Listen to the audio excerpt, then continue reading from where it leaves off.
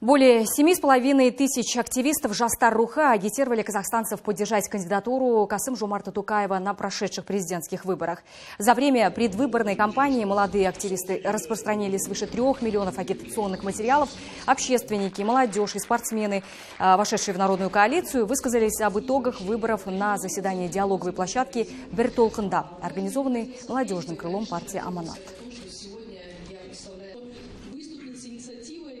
Молодежные сообщества, движения, а, с которыми мы сегодня разговариваем, получаем фидбэк, а, безусловно, констатируют, что выборы в Казахстане прошли а, намного честно, намного открыто, справедливо, и все выражают поддержку от итогов выборов, итогов выборов президента Республики Казахстан. Собравшиеся сошлись в одном. Результаты выборов показывают, что курс реформ Токаева имеет всенародную поддержку. Основная задача его программы – это улучшение качества жизни казахстанцев. Эксперты также отметили, что политическая активность населения становится выше. В ходе агиткампании поступило свыше 40 тысяч пожеланий и предложений от избирателей.